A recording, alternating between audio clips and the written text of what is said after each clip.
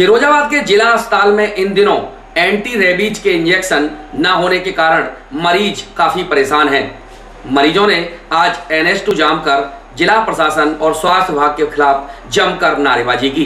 पेश है ये रिपोर्ट। जिला अस्पताल में एंटी रेबीज के इंजेक्शन न मिलने से तीमारदार काफ़ी परेशान है। मरीजों को लेकर लंबी लंबी कतारों में लगे मरीज़ और तीमारदार। जब इंजेक्शन खत्म होने की बात सुनते हैं तो काफ़ी परेशानी सामना करना पड़ता है। आज इसी मामले को लेकर मरीजों ने जमकर हंगामा काटा। जिला अस्पताल के सामने टू पर जाम लगा दिया। पुलिस ने आनंद फानन में पहुंचकर समझा बुझा के प्रयास किया और जाम खुलवाया।